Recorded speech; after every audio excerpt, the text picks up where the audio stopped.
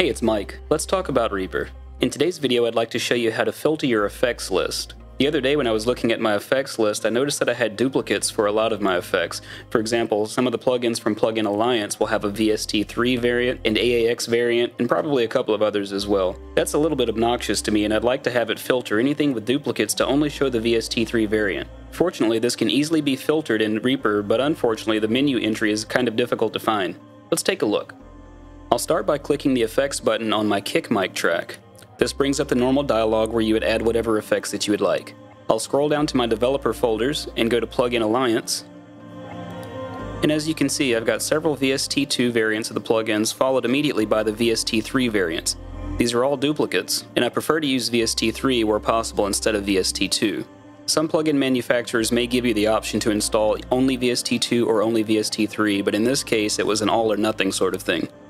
So to change this behavior in Reaper, I'll go to Options, Show in Effects List, and you'll see at the bottom of this menu entry duplicate plugins of different types.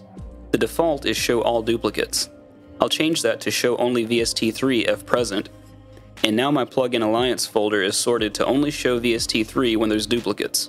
Let's take a look at another vendor. Here's PSP AudioWare, and I can see now that I've only got the VST3 version of Infinistrip.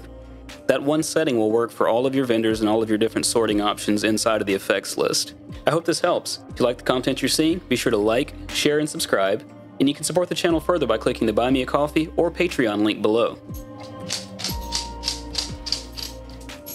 I like coffee. And click the link in the description to join us on Discord. See you next time.